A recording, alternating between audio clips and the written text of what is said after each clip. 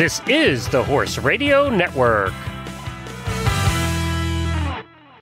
This is episode 185 of Horsemanship Radio, brought to you by Hands On Gloves, the all in one shedding, bathing, grooming gloves. Horsemanship Radio is a part of the family of the Horse Radio Network, and today we have horsewomen. They cared enough to start nonprofits, and they help horses and the people who love them.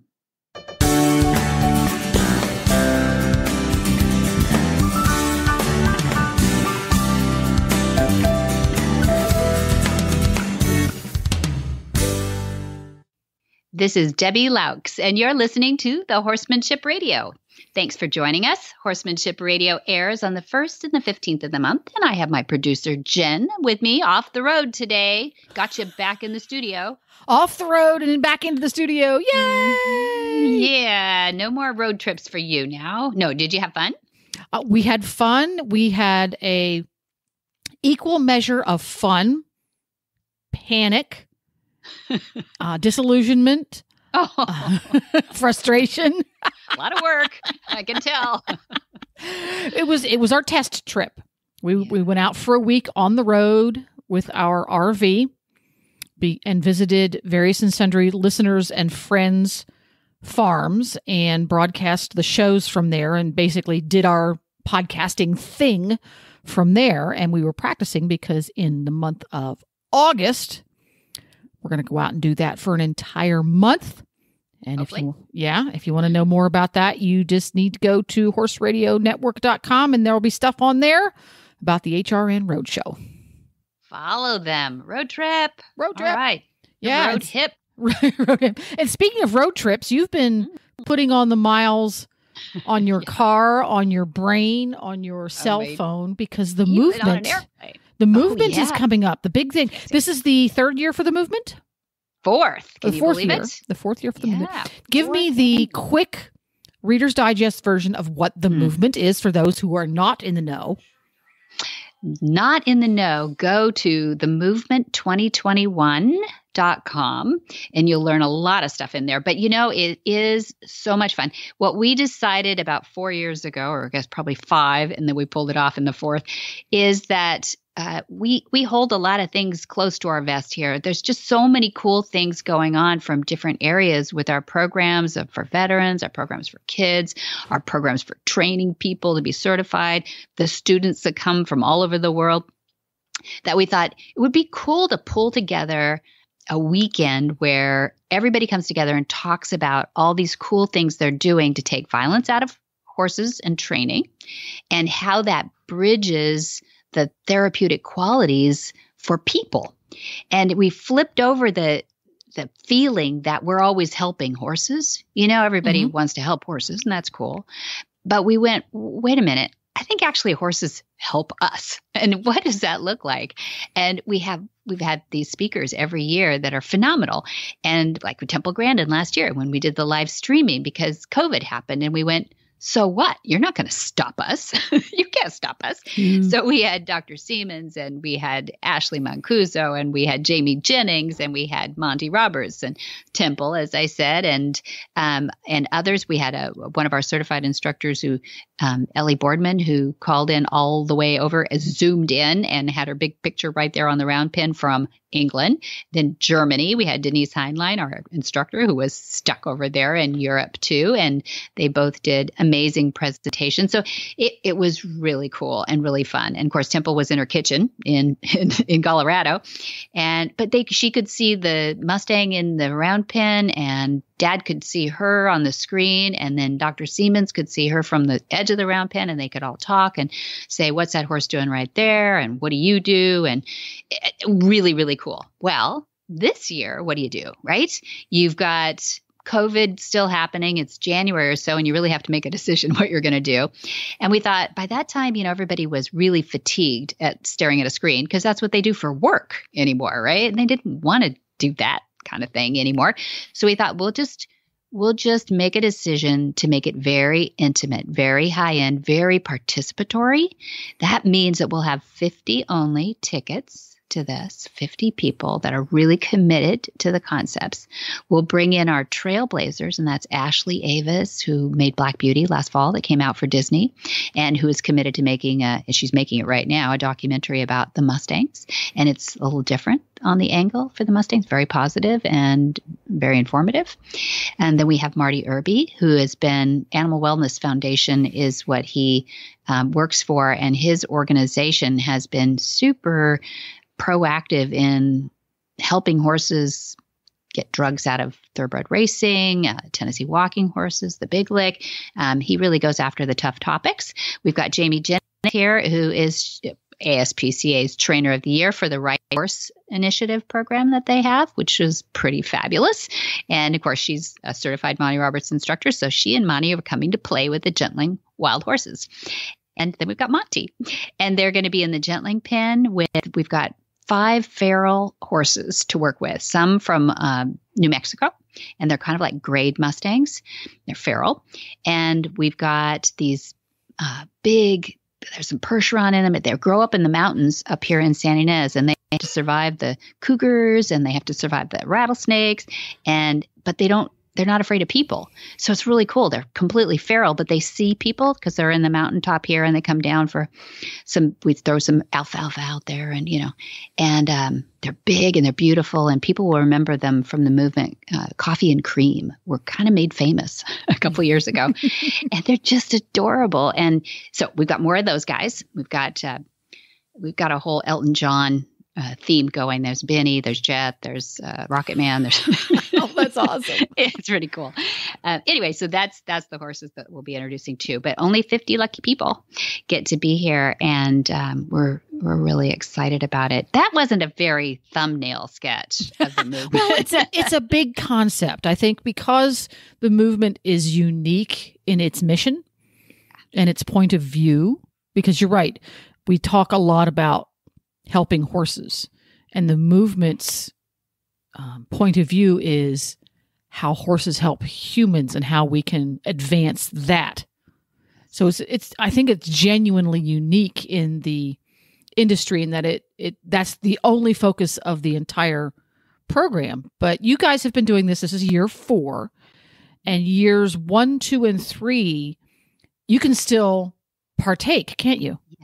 Thank you. Yeah, thanks for bringing that up, Jen, because everything dad does, you know, we we video and we keep and we churn out lessons on our online university. That's montyrobertsuniversity.com and um, we put them up after the event. It takes a few weeks to edit it all down because we have two cameras rolling but we put it on montyroberts.com on the top of that homepage there is a tab and it says the movement V O D. V is in Victor. O ostrich. D dog. I don't obviously not very military on that, but or if you it, please, that means video on demand. It means it that too. Does I was going to teach him that. Thank you for doing that. That's good though because I didn't know what VOD was. Like, why did you put VOD on the tab? I'm like, oh, video on oh, demand. I get it. Go. Okay. so yeah, up there though, they'll see the past years um, that are um, put up there as soon as we get it edited and done so people won't miss out. So if you got major FOMO, fear of missing out, see, I'll teach you all these acronyms, and then don't worry. Um, just because you can't travel or you know you're worried about doing that, you can still get a chance to see these, and you can see the ones from past years, whether you were here or not. You can go back and video on demand it. See, there you go. So you just go to montyroberts.com. At the top of the page, the movement VOD. And that brings you to a page that has all of the movement videos, which are the entire symposium um, yeah. right. brought down into a clear, concise, informative, and enjoyable video. But you also have on there a lot of other videos from Monty's. Mm-hmm. You, you got some backstage patches on passes on there and some other stuff too. Yeah, absolutely. Um, we we have some highlights. The trailers are really fun just to watch to see which one you want to start with. Like uh, there's a beautiful Cremello stallion all fired up going around a round pen. If you look at that, that's last year's with Temple Grandin and all those people I just talked about. Uh, but they have the other ones too. 2019 and 2018 is up there, and and other things of interest. It's better than YouTube, you guys. YouTube is kind of messy video. These these are beautifully done Yes, they're they are professionally produced, so they they rock as far as production mm-hmm. value is concerned. You do. You do a good job with that. There yeah. we go. Well, that's what's going on at uh, Flag is Up Farms for now. We'll later in the show, like we always do, we will get through get to the calendar, which will mm-hmm. tell you what's going on for the next three months or so. Yeah. If you're interested in that. So if you are not going to the movement in person, and if you want to go to the movement in person, just go to MontyRoberts.com, look up the phone number, give them a holler on the phone. You'll go, talk to a real live human being who knows what's going on. Yep. And save it for next year. I think we'll be at June again next year. So long term planners. There, there you, go. you go. And speaking of long term planning, long term planning, you need to probably replace some of the grooming tools in your grooming box. I just noticed that today. Some of my grooming tools are looking a little ratty. So if you haven't done so already, you need to check out Hands on Gloves, who are our title sponsor. So let's hear from them before we get to our first guest. Well, I'm sitting here today with Jay Michelson of Hands on Gloves. And I, we were talking today about the horse that has sensitive skin or the animal that has sensitive skin, Jay. And I, I wanted you to help me address that a little bit. I know you've got some features to your products, but I know you know more about it than I do. So what do you do? What do you say to the, the owner that has somebody with sensitive skin? Our gloves are made from surgical grade nitrile. So that makes them chemical resistant, mildew resistant because you can bathe with them too. They're made to get wet. Um, but across the board, there's no latex in them. So it's great for any animal, any people that have latex issues. There's no latex in it. They're just your hands. And if you have a thin skinned horse or dog, they're, they're cats, other animals, there are many animals that don't like to be touched in certain areas. But having the gloves on, it's just your hands. You get immediate feedback if you get to an area of that animal that is sensitive. And you can apply less pressure in those areas, and you can apply more pressure in the other areas. Um, we have professional grooms that work from us. Um, they groom for Olympians across the board, and these guys are phenomenal. And they did a study on mainly thoroughbreds, thin skinned thoroughbreds. Mm-hmm. And they found out that most people are grooming too light. Oh, interesting. they're tickling the, the horses and went in and applied just a little more pressure, and the horses loved it. Ah. And so that's kind of uh, some of our experience with it. We we have all kinds of animals and experience with that. I think you can throw these in the wash machine. Am I right? You can. Next time you bathe your animals with them, use the gloves. A little bit of soap suds up all the way. And what we do after we bathe our animals with them, we rinse them off, hang them out to dry, and they go back to new. Um, you can throw them in the washing machine. Um, just don't put them in the dryer, and okay. um, just throw them in the washing machine hang them out to dry, and they go back to new. Well, Jay, how do people find out about you? Handsongloves.com. Bonnie McRae is the founder and director of After the Races, a nonprofit in Elkton, Maryland, whose mission is to rehabilitate and rehome retiring racehorses into long term homes while promoting the versatility and usefulness of the breed beyond racing. Bonnie grew up around horses and began working professionally with the thoroughbreds right out of university. She worked in many aspects of the racehorse industry, from starting youngsters for the track to exercising and managing racehorses, including some graded stakes winners. While she also handled broodmares and foals, she always gra- gravitated toward the rehabilitation and training side of the industry. For fun, Bonnie enjoys pursuing endurance and eventing riding with her own horses, and even completed the Mongol Derby in 2014. Well, welcome, Bonnie McRae. What a great name, too. Bonnie, I'm so happy to have you at Flag is Up Farms. And you are interning here as uh, a part of our transition horse program. But I wanted to learn a little bit more about you and what got you here first. I know we've we've read that you're the founder and director of After the Races. Um, we definitely want to hear about that. But I'd like to hear how you got into horses. We always like to know your horsey background first. How'd you how'd you meet horses in your life? Sure, and uh, you know, thank you for having me. I'm really excited to be here. Um, as as far as how I got introduced to horses, I was introduced by in the same way I think a lot of people are introduced to horses, in that I was signed up for horseback riding lessons when I was nine years old uh, by my parents, and my parents are not horsey people themselves, but I think they recognized that I seem to somewhat lack the propensity for those kind of team group sports that a lot of kids like to get into. Mm-hmm. You know, I was always a bit of an introverted child that really enjoyed the company of animals a bit more towards people, like I think many of us can relate. Mm-hmm. And so they decided to give this a try and see how it went. And, you know, I think, of course, they had no idea at the time that they would be creating this spark and setting me up for this lifelong, you know, career with horses that ended up happening. So I love that. I love that parents can reach for things that they're not even familiar with, but kind of recognize those qualities that um, help a kid, help a horse, whatever it is, too. And we're so glad that you chose horses and stayed in the industry and you know, as a lot of women do. But you've taken it to a new level. I, I was amazed by this first internship that I read about that you were in your background, that you interned with uh, Juddmonte Farms. How do you say that? Juddmonte Farms? Juddmonte Farms? Juddmonte Farms. There we go. Yeah. Got to give them credit. Yeah. Oh, and they, they are amazing. Yeah, tell us a little bit about because you assisted in starting 72 young horses for the track at Juddmonte Farms. Tell us That's about that operation. Yeah.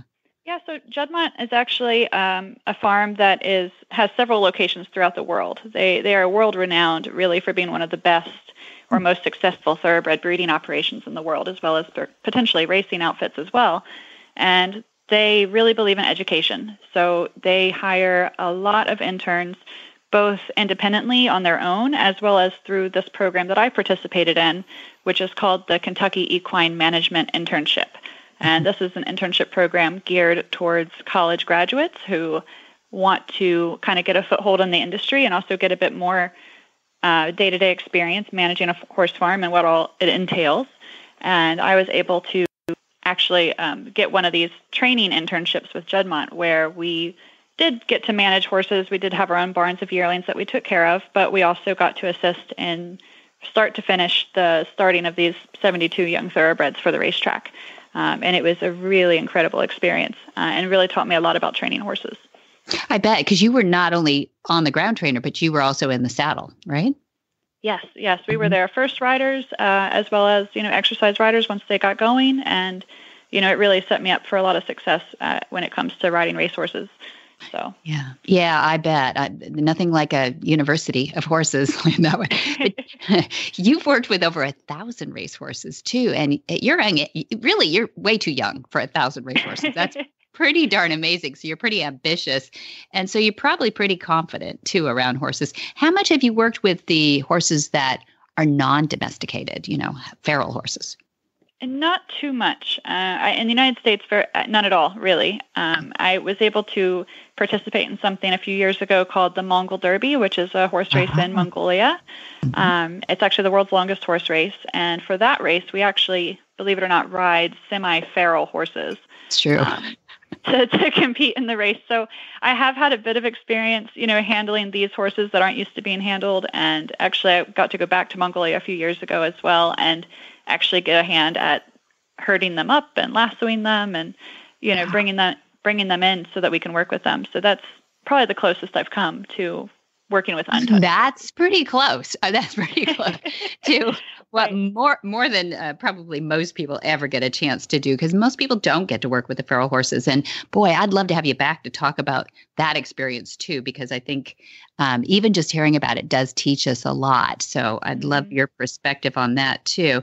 Um, but eh, I see in your, I mean, probably the reason, one of the best reasons we have you here is because you started uh, after the races, which is a mm-hmm. rehab and rehoming operation, and and that's what I really wanted to dig into a little bit. Why did you start that? That's actually a really good question. Um, you know, I think it was kind of a product of several events, you know, culminating to uh, the point that it ended up in. You know, I was able to go from working at Juddmonte Farms with their yearlings and, and horses in training to ultimately, you know, managing and riding racehorses in other capacities, uh, as well as doing a good bit of freelance riding and training for particularly racehorses, but as well as other breeds. And at one point in my life, I actually just found myself renting a, a farm uh, or a house on a farm that was a former breeding operation in Pennsylvania. And, you know, I was just kind of looking for the next step for myself and became aware of this need for a place, a safe place for horses to come off the racetrack and rehabilitate and you know work towards their next career. And they really need a particular type of person i think who is very familiar with kind of the ins and outs of the racetrack and racetrack life as well as the horses themselves. And i felt that i could fill that need. So um, you know it really just was a matter of kind of all these little things uh, bringing me to a, a spot where i was able to to start this program yeah, I, obviously you felt confident with them because the horses were responding well to you. And I know that's such a hard thing to define in your own self. But what do you think it is about horses that respond to you well? What, how did you handle them in such a way that you felt like you were, that's sort of your superpower?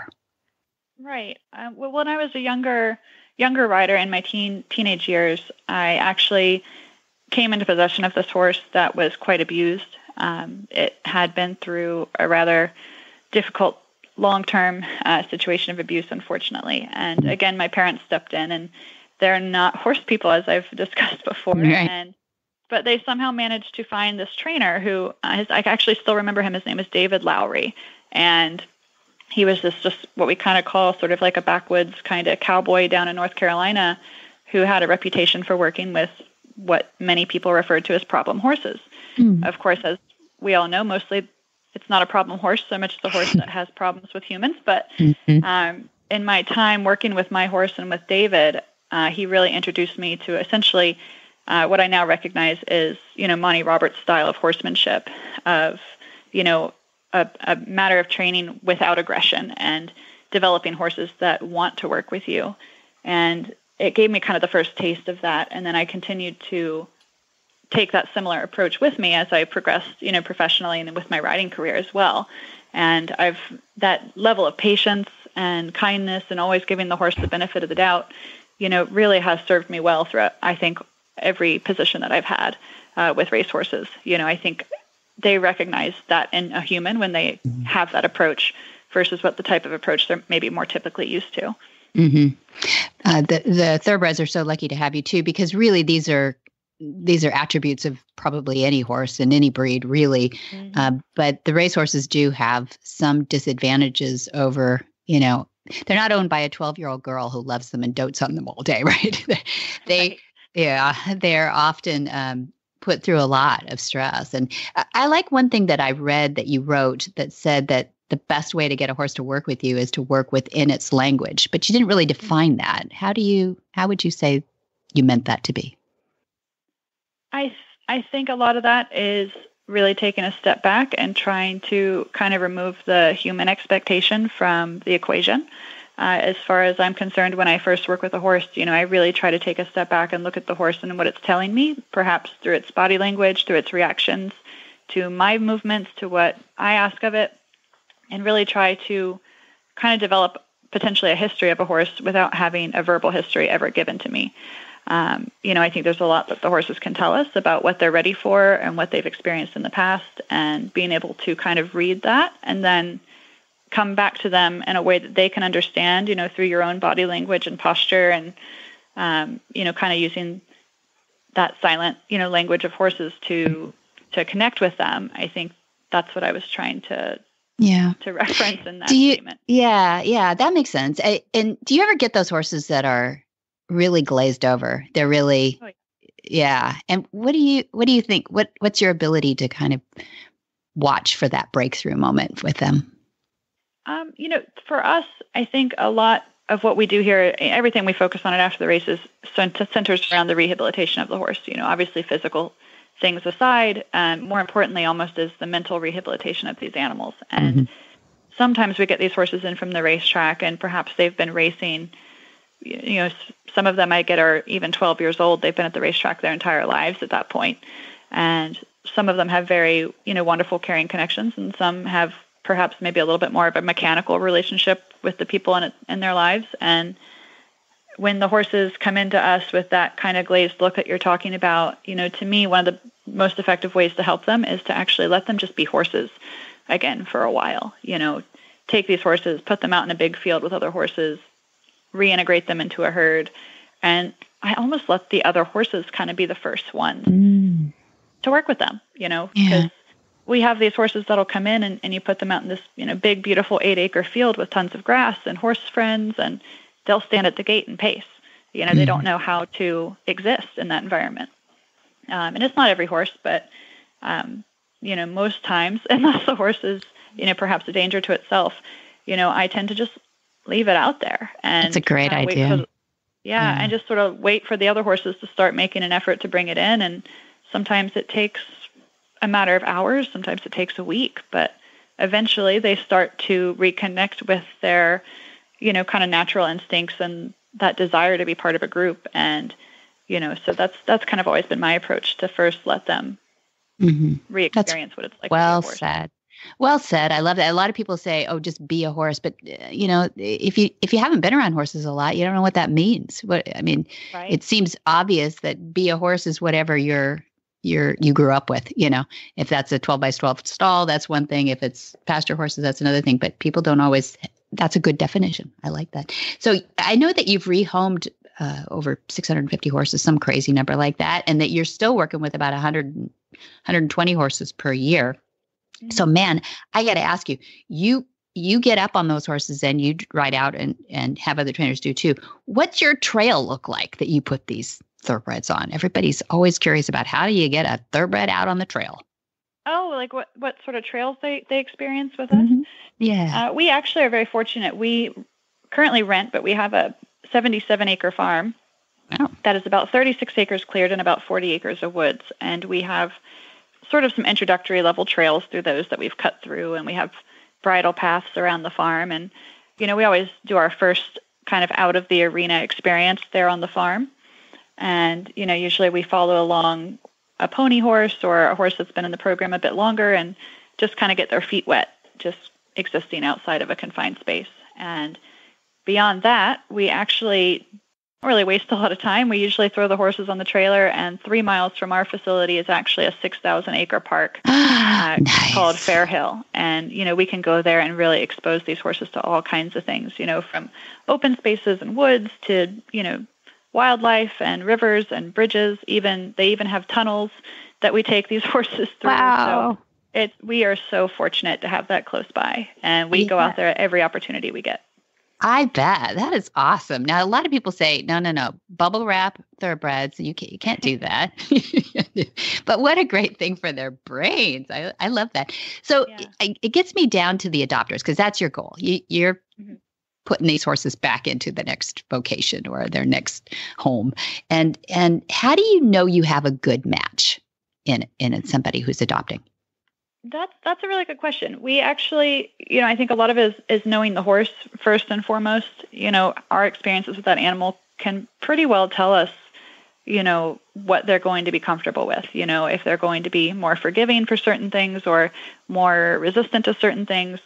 And and for the most part, I feel like these retired racehorses often need, you know, rather experienced riders. They need people that have are pretty confident in their abilities and you know, kind of know how to kind of get out of a sticky moment if they ever arise. Mhm. Um, but you know, not all our our adopters fit that category. We have quite a few first-time horse owners as well that we work with. Uh, we have horses that have gone on to be police horses and therapy horses and everything in between. And a lot of it, I think, is is mostly knowing the horse and then also relying on the references and the people we talk to that surround the adopter. Uh, you know, the adopter will tell us their background and, and what they think their abilities are, but then also communicating with the people around them to kind of verify that sort of information. And you might find a, you learn a little bit more about them that way um, sometimes um, to just sort of, I don't know, just sort of put the pieces together and try to find the best fit. Um, and then, of course, if we can see them ride, you know, come to the farm and actually try the horse out, you know, you'll you can tell straight away. I think if a horse is going to get along with someone. Mm-hmm. Whether the person's confident enough to do that too. So, uh, and it's great when you've got you're a writer, so um, it's it's wonderful that you can assess like that too. I'm thinking about the the owner right now of a racehorse on the track, and eventually that horse will have to retire, whether it's three years old or, as you say, twelve years old in the case of the one. Um, what what would you like an owner of a racehorse to know? Something that you know now that the owner may not be thinking about yet? but would you like them to know? Yeah, I would really like more racehorse owners to think about the future of their horses beyond racing. And that might seem kind of obvious, but I think at the end of the day, most of the people that own these racehorses actually do like horses and they are even very compassionate about their the care of their horses. But a lot of them might not really know what it takes to move on successfully from that career to their next one. Mm-hmm. And I think being able to recognize signs in their horses sooner than later, as far as, you know, making that call to retire them before they're used up or before they get a career ending injury, mm-hmm. um, you know, to really give them that chance to have a successful second career. You know, mm-hmm. so often people kind of wait until the physical state of the horse demands retirement.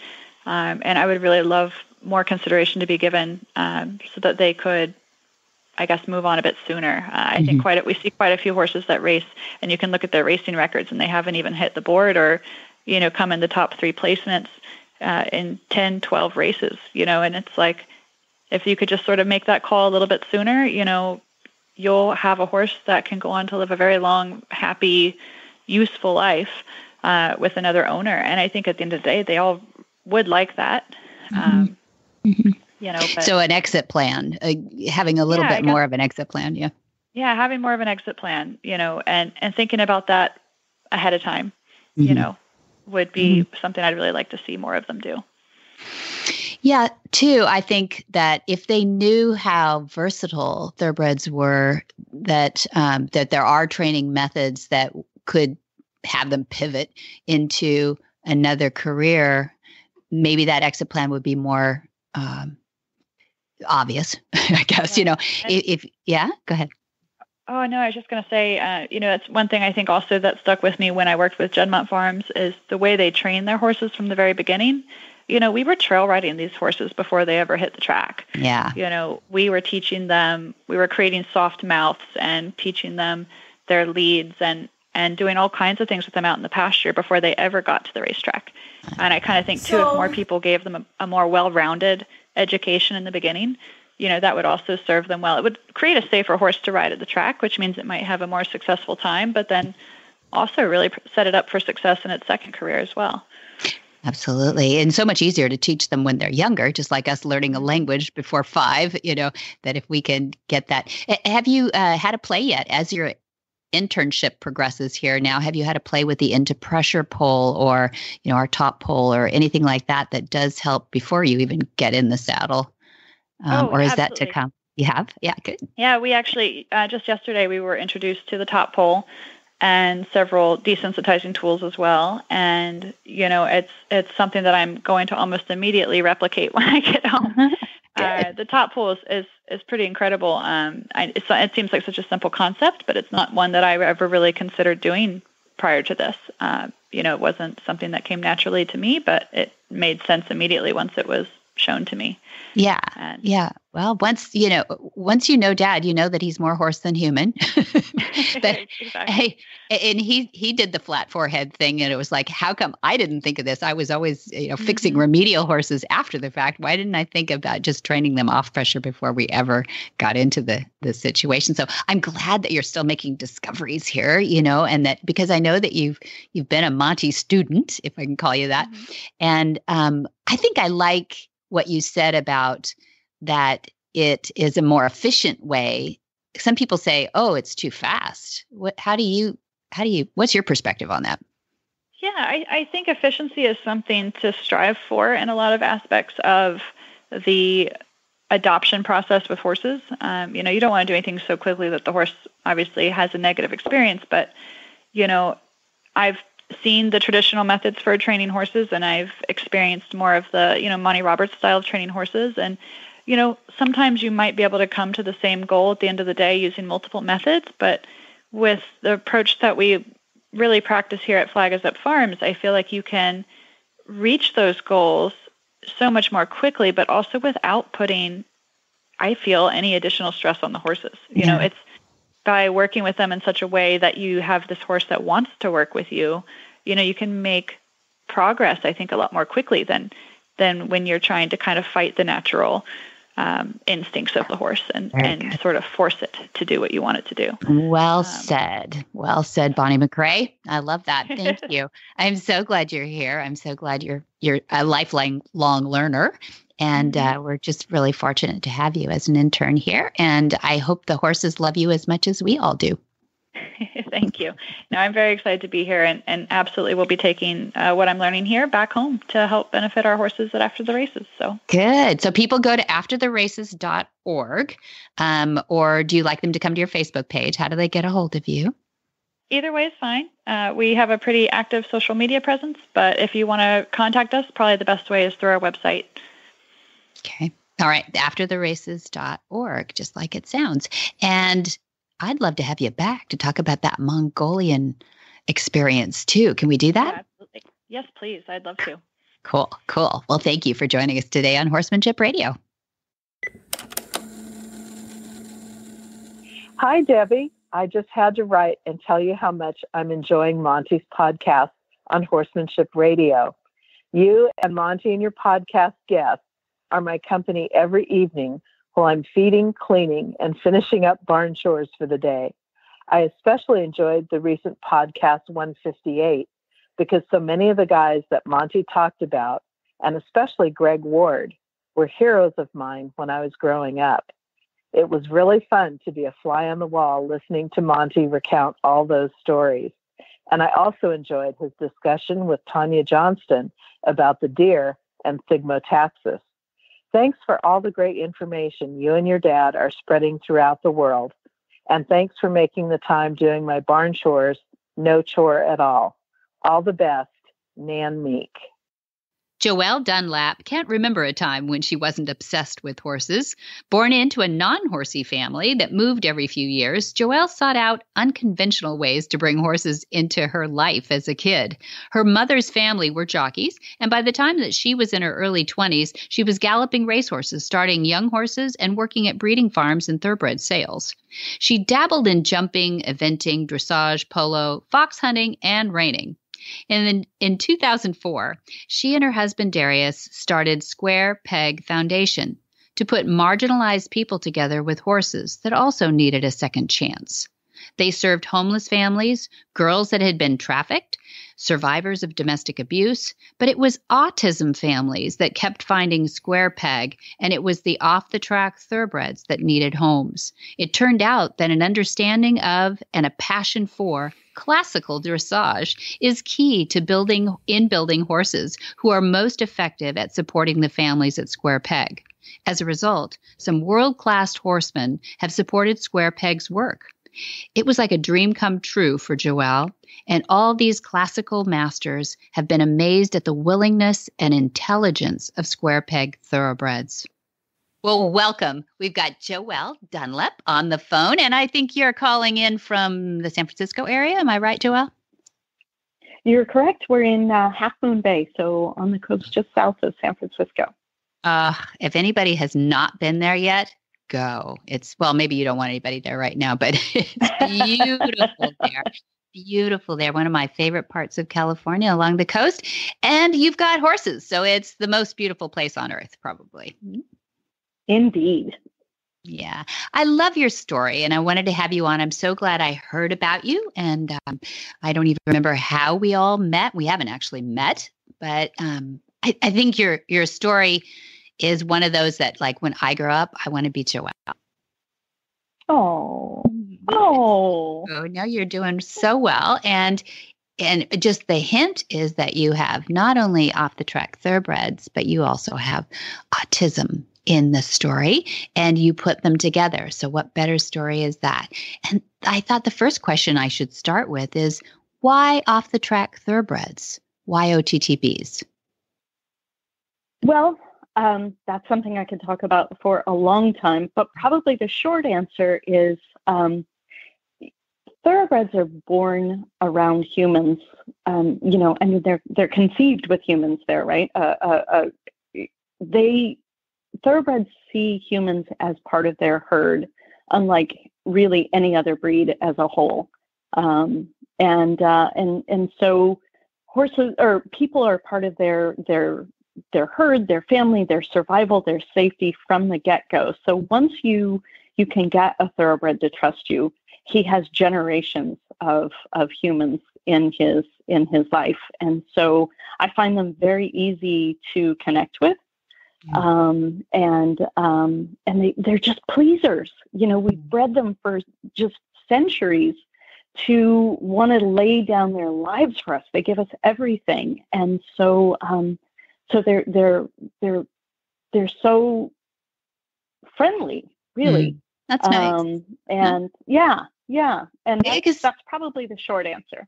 okay, well, that's that's great. I mean, I think what I'm hearing is that domesticated horses really are kind of like our, or maybe our pets, are born with us and not like, um, let's say, the Mustangs out in Nevada, where they've right. never seen something walking on two legs uh, until they do. And then they're certainly survivalism. It kicks in and they don't want to have anything to do with it. So you're saying the opposite that um, this is an environment mm-hmm. that they're raised in.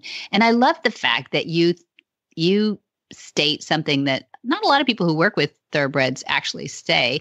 A lot of people think that the thoroughbreds on the track are kind of glazed over and that they're used as, you know, a, a sport, right? They're not, yeah. they don't have the relationship at the track that uh, a lot of people uh, might have with their, let's say, little quarter horse back home, you know?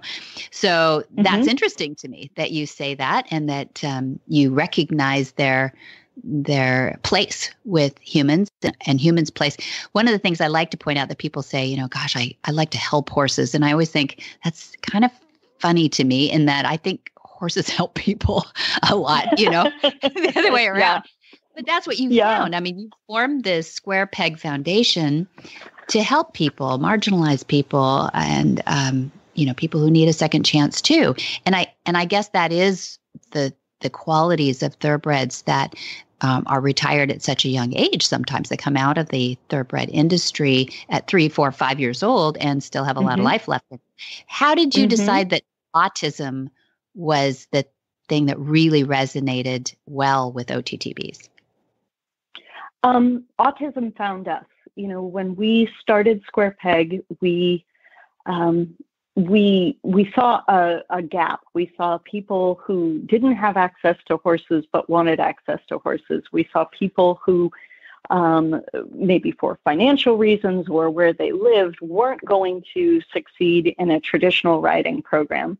And we saw people who wouldn't fit into a therapeutic riding program. And we saw this big gap and we thought, well, those are the square pegs. Those are the people that we want to serve and we want to take, um, you know, I'd always placed uh, horses off the track, and then you had this, you had this gap. You had these horses that weren't going to fit into a sport home, and maybe too much to be a pasture pup for the rest of their life. Mm-hmm. So um, that that was really the nidus of of Square Peg, and what found us was autism over and over and over mm-hmm. again because therapeutic writing programs really at the time um, were so focused on on doing beautiful work with people with physical disabilities. Mm-hmm. and they were really good at it. Well most people with autism don't have a physical limitation. In fact most people with autism are very soothed by regular outdoor you know motion just mm-hmm. like just about anybody um, and because of the social deficits, really weren't getting the play, weren't getting the recreational opportunities um, that they really needed to thrive. So, um, you know, parents just kept finding us and they kept telling other parents, and we thought, holy kittens, we better learn mm-hmm. about this autism thing and we better mm-hmm. learn it quick. I'm glad you did. I'm glad you did. So the the the interesting thing is that we we have a transition horse program too. You may or may not know mm-hmm. about our yeah. Mm-hmm. Okay. Mm-hmm. And mm-hmm. yeah. and we feel like we we need to with a lot of them, we need to let them become horses again. You know, when they get here straight off the mm-hmm. track and some have won mm-hmm. some have won nothing, you know, that, that's why they were retired yeah. early yeah. or some have won a quarter of a million dollars, you know, and and but all of them have a a bit of a um, oh, a racy system, you know, at the time. And and I wouldn't mm-hmm. even say it was mm-hmm. in their head. It's just a, a hypervigilance maybe that that they sure. achieved at the track. And and I think trainers uh, like to see that a little bit, you know, like to see them hyped up a little bit. Mm-hmm. And they've got them sure. on rich food and all kinds of things. So we put them out in a pasture and we get them to chill. we mm-hmm. our goal is to mm-hmm. get them to chill for the first four or six weeks they're here, and then we start back mm-hmm. on the training. How long do you feel uh, it takes before you get them ready for a, an autistic person? person with every autism? horse is different yeah oh, okay. every single horse is different and um, we're so lucky we work really closely um, here in california with with the CARMA placement program they they kind of know what's really going to work for us and they also know that we're also suckers for a hard case so we tend to you know take that one-eyed horse with you know who's back at the knee and you know and club footed on the other foot and um, you know in exchange for that really, really, really good horse that's come from a great barn that just has this brilliant mind that the trainers are crazy about. Um, and so we we get a little of both, and um, and uh, and even then, as you know, once they get going, sometimes they tell you, look, I just need a break. I need you to put me out in a pasture for six or seven weeks, even mm-hmm. though we've been going for 120 days. And the way I liken it, that I think most people understand, so that you kind of demystify this, you know, crazy thoroughbred notion, yeah, is it's environment, right? So if I buy a 10 week old Australian cattle dog puppy and I live in an apartment.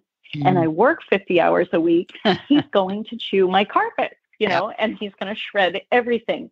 But if I have an eight, 10 week old puppy and I live out on a farm and I have two other dogs and he's with me all day and he's moving, guess what? He's going to be the best dog in the world. And people are going to say, How do you train dogs so well?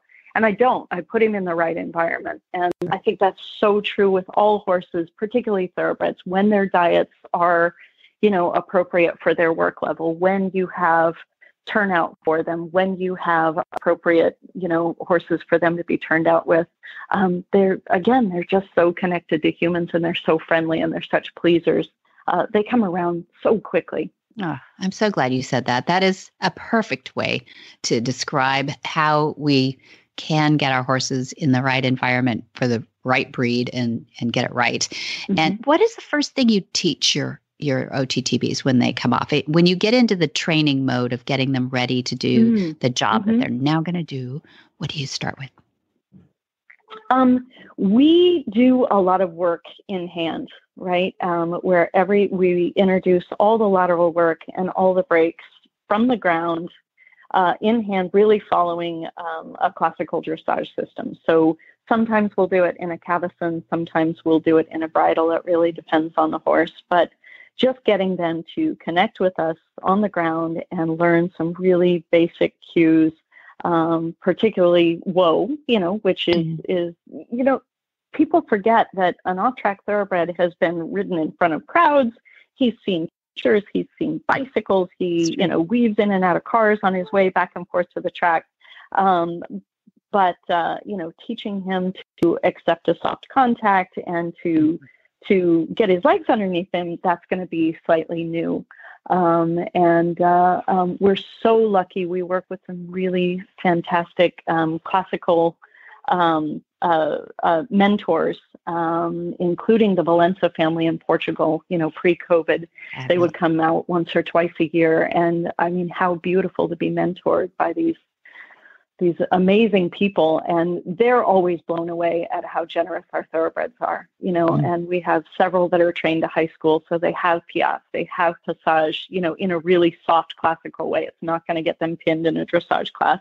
Sure. Um, but uh, you know and they look at them and they go this horse is not you know his conformation isn't such that he should be able to carry himself this way uh, but I said, but nobody told the horse that, and and they just giggle and they're so kind and um, uh, you know, and it's always fun to show people that your breed can do things that that people, you know, even really educated people didn't mm-hmm. think that they're capable of. So, so I great. that part probably more than I should. oh no, no, not at all. Because you are born into it. I, I, we had said in your bio that you don't remember a time when you weren't obsessed with horses and and you do have jockeys in your family so that you you know mm-hmm. what you're talking about when you say you've uh, been on the backs of these young thoroughbreds you've done some different disciplines on them as well.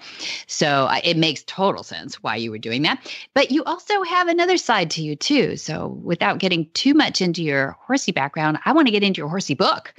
So tell Oh. me a little. Yeah, I know you're writing, and I know that you're coming out with a book. So I want to hear a little preview. I want a little a little exclusive here on Horsemanship Radio. How do you have a working title or a, a final title? I do. Uh, uh, uh, the final title is A Damn Fine Hand.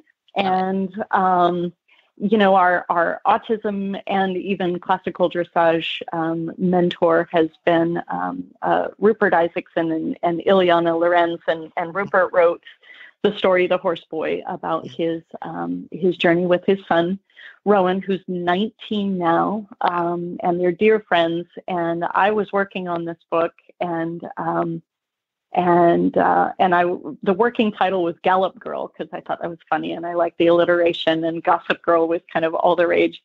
And uh, and he said, no, he said, Joell you have this turn of phrase, and I'm not sure whether it's a California thing or what. He said, but when you really respect someone, you say that person's a damn fine hand. Yeah. And he said, that's the title of your book. So I'll give him credit for that one. good. It's good. And it yeah, the subtitling I have is a story of women writing for their lives. yeah. That's pretty intriguing Yeah. too. Are you going to tell us? Yeah, so it's a it's a short story that got out of control. Um, it- it's actually two short stories that got out of control. Um, one of my dearest friends uh, is an assistant trainer and um, uh, an exercise rider, and she was involved in a head-on collision on the track where uh, a horse got loose and bolted into a horse that she was working. And um, and uh, uh, I was I was sitting at breakfast with my veterinarian who spent a lot of years on the track and my husband and my dad and my phone just starts jumping off the table because um, uh, all these women at the track said oh my god you know colleen's really been hurt badly and joell needs to know and she needs to get you know to the because we're like family um, and she needs to be there at the hospital with her. And i started thinking about um, you know, women in the horse world, uh, these are women that I hadn't seen in years, you know, and somehow they all found my number and started calling, and just how everybody came together for this woman who got injured in a way that, you know, there but for the grace of God go I, right? It could have been any of us, and how quickly all these women came together to to support her. And she did recover um, both horses died. It was just, you know, it was one of Wow. those spectacularly tragic things.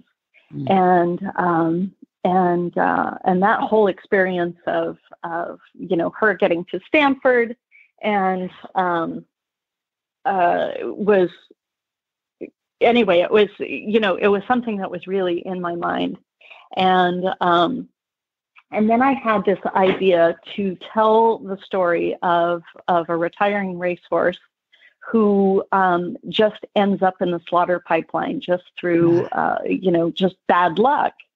And i you know i got thinking about you know black beauty was a story that that that changed everything Right. um, because it started the humane society movement and it was because it was the first time that somebody gave a horse a voice a first Yep. person voice Anna and I thought, what if I tell this story, yeah, from from the horse's voice, and um, and show him going through these things that he doesn't understand, um, and none of it is his fault.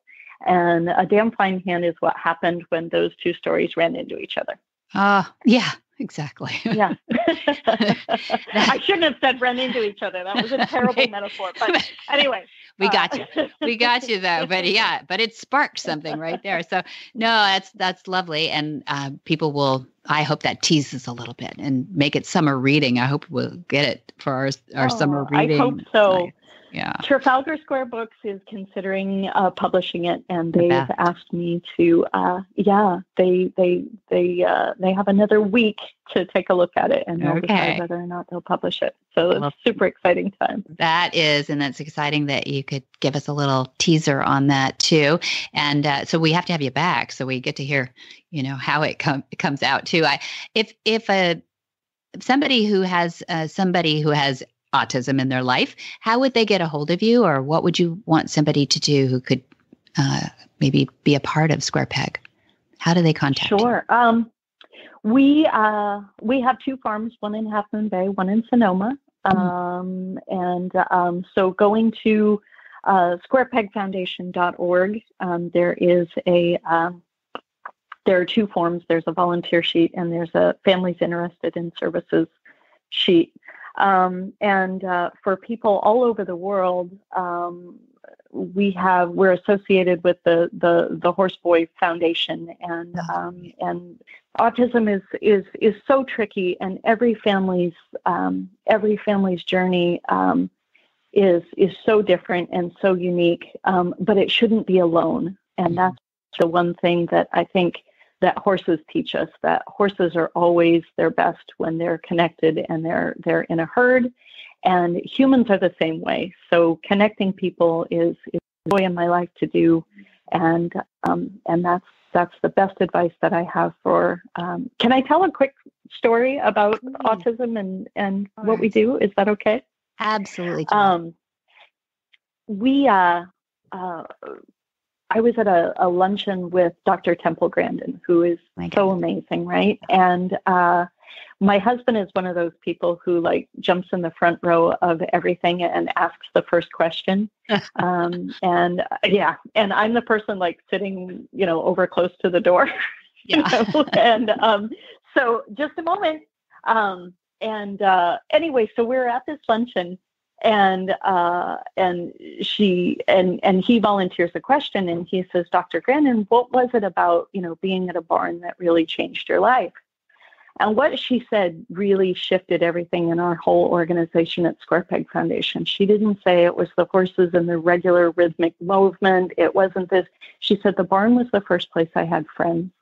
Mm, right. Yeah Right. And we forget how important the social connection is with our horses. And um, yeah, being in a barn where we feel useful and connected and friendly, and we can share our stories, and um, and and I think that is really the best of who we are.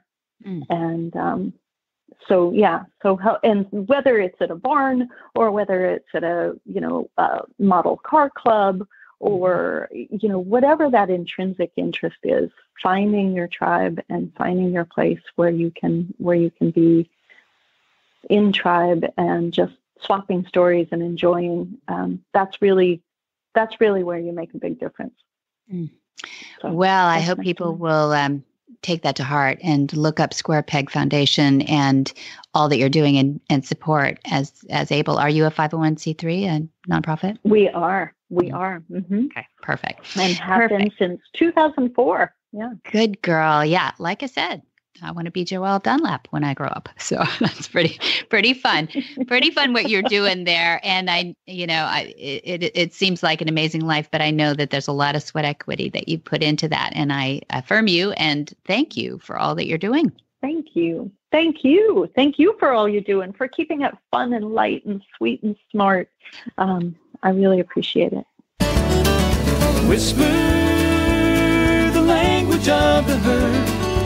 Listen, you don't have to say a word. It's time for Jamie Jennings to fetch an email from Monty Roberts' inbox and share a morsel of Monty's wisdom in a little segment we like to call Ask Monty. Leave this world a better place than mine. The magic in the language of the herd. Dear Monty, do you ride with a whip or use one on the ground? Do you call it a whip or a crop or something else? Do you think what you call it is important? And if so, why? Monty's answer. Since 1949, I have not ridden with a whip. I often use the giddy up rope, which is a collection of cotton yarn braided soft so that it can cause no pain. It is my opinion that striking the horse causing pain is ultimately counterproductive in many ways. I've been able to achieve 11 world championships without the use of a whip. My position has been clear for my entire adult life that causing pain to the flight animal is virtually never productive. Obviously, treating an injury can be painful and surgery can produce pain, but whipping to improve performance is a fallacy. For more of these insights into good horsemanship, go to montyroberts.com and click on the words Ask Monty at the bottom of the page.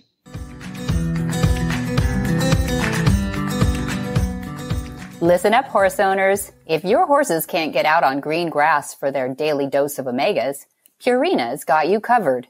The Purina team of PhD equine nutritionists have two new products that are rich in omega-3 fatty acids, and they taste better than many sources. Looking at you, fish oil. Try the new Purina Omega Match Timothy-based Ration Balancer or Ahiflower oil supplement and see for yourself why these are among some of the best omegas that nature offers. It can take science and love together, each pulling their weight to help your horses live their best lives. Put our research to the test at purinamills.com forward slash omega match. What in the wide, wide world of sports is going on here? Where in the world is Monty Roberts? Monty is looking forward to meeting some new friends, two legged and four legged.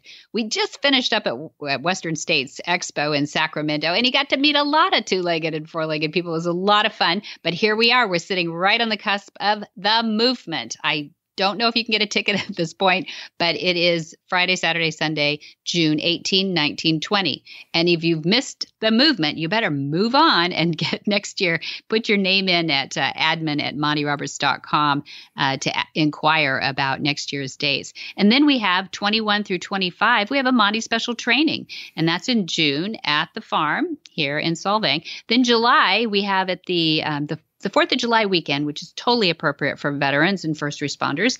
July 2 through 4 is our Horse Sense and Healing for those that are uh, beset with post traumatic stress. Then we have our introductory course of horsemanship, and that's July 12 through 23. It's the full blown two week version. Get her all done. Get ready for the exams. Then in August, we have 2 through 13. We have our Gently Wild Horse course, and that's the 10 day one, not the five day version, the 10 day really get to where you almost got those first ones, or maybe you do, get them saddled. And then we've got August 16 through 20, another Monty special training. So you get lots of opportunities to see Monty this summer because guess what? He's at home now. I can't believe, mostly. He was in Sacramento yesterday, but we had a lot of fun. Wow, he's home. Woohoo! great. And great. if you couldn't put commit all of that to memory, hop on over again, montyroberts.com. That's kind of the, the place to go. montyroberts.com. It's easy to remember. Yeah. Or you can give them a call over there at Flag Is Up Farms at 805 688 6288. And of course, that phone number can be found at montyroberts.com. Come back over there. You keep looping back. Good. What a beautiful day for horses in the morning. Well, everybody had a favorite morning drive show in the days we all listened to radio. They were goofy, funny, and entertaining. You can have that again, only this time it focuses on life with horses. We are here every weekday on your podcast player. Search for Horses in the Morning and come join us. We are a little goofy, hopefully funny and entertaining, and you might learn something along the way, too. We are the world's leading daily podcast about horses since 2010 with over 2,600 episodes for you to binge on. Subscribe today. What are you waiting for? Pull your phone out of your pocket, blow off the hay, and subscribe to Horses in the Morning.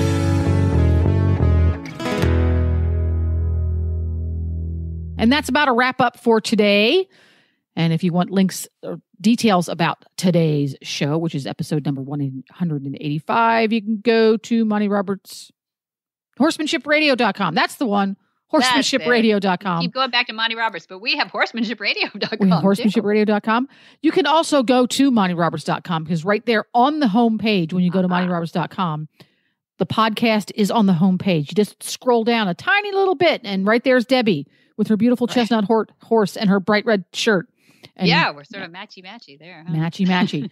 so you can also find it there. And we love your feedback. And one of our favorite ways to get your feedback is on social media. So if you haven't done so already, head on over to Facebook, search for Monty Roberts, the one with the little blue check mark, and follow that one. Or if you're a tweeter or an Instagrammer, Monty's handle on both is Monty underscore Roberts. So check those out today. I know that the Instagram is one of your faves right now, isn't it? It's beautiful. It is so simple. Take a picture, put a caption, hashtag it. Done. done. Who doesn't want to look at pictures of cool horses and people having fun with cool horses? Exactly, exactly. There you should get the app though too, because there's lots of pretty pictures there. That's true. Good point. And if you want to uh, get the Horse Radio Network shows with you wherever you go, download the free Horse Radio Network app. Go to your app store, search Horse Radio Network, and download it today. It's free and easy to use.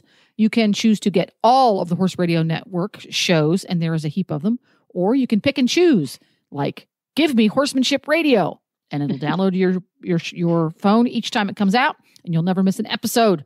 And you can also listen on your favorite podcatcher. I'm not going to say you can listen on iTunes anymore because iTunes podcasts on iTunes is going away.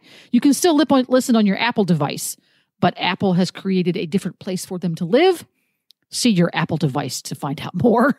Yeah, exactly. They're so dang popular though, you guys. Remember when people didn't know what a podcast was? Mm-hmm. And I had to put radio in the name, horsemanship Yes, radio. that's right.